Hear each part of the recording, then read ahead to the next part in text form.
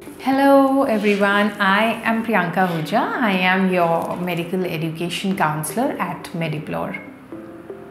Today I'm going to clarify all your doubts about your MBBS program in Armenia. Armenia, as we all know, is home to some of the top medical universities the people of uh, Armenia are uh, quite friendly and we have mentioned uh, that you know Armenia is a if you talk about Armenia as a land it borders with Georgia in the north and Iran and Turkey to the south.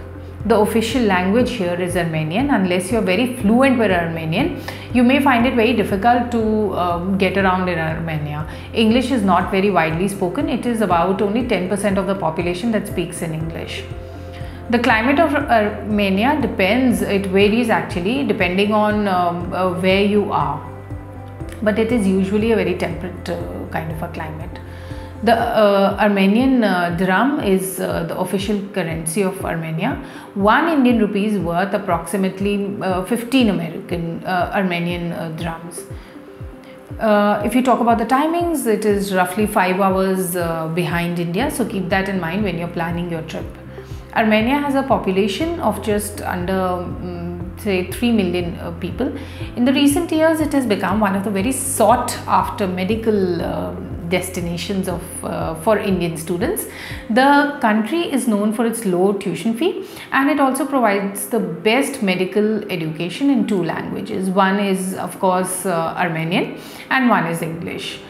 Uh, which makes it quite convenient for Indian students to understand.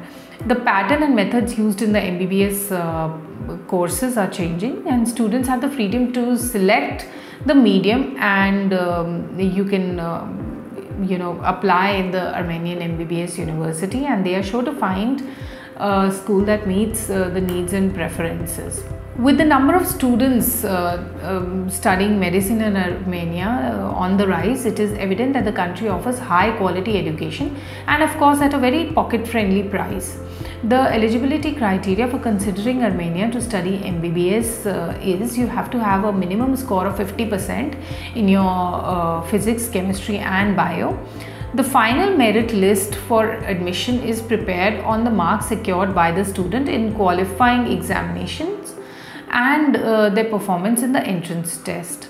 Uh, candidates who fulfill the criteria uh, which I've just mentioned and meet the cutoff uh, marks are eligible to apply for MBBS admission.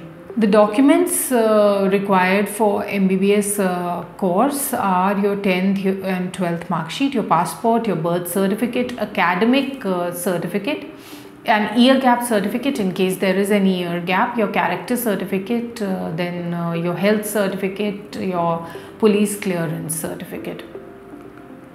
The admission is quite hassle free. You just have to apply uh, uh using the application form which is online available uh, on the university's website and submit it along with the um, documents which I have mentioned. Uh, once the application is received by the university, you will be contacted for further details and instructions.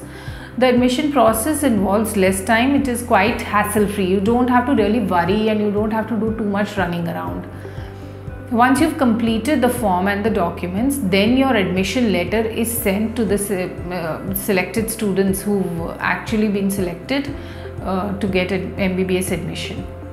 The NMC must approve your letter. Another important thing that you have to keep in mind is that you have to pass an English test. The universities accept your fee and admission through your bank account, uh, through their bank account respectively.